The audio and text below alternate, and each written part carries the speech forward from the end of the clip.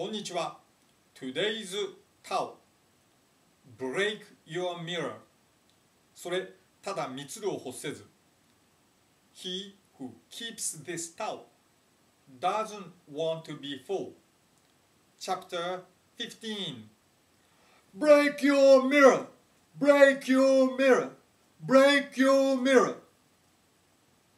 Break your face Break your face Break your face These are famous Zen sayings.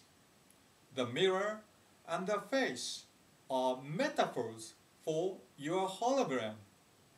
A man who knows he is one with Tao doesn't want his hologram to be full. With desire and resistance, the hologram gets bigger and bigger in a way. The bigger it is, the harder it is to break it. Thank you. See you tomorrow for the next line of Tao Te Ching.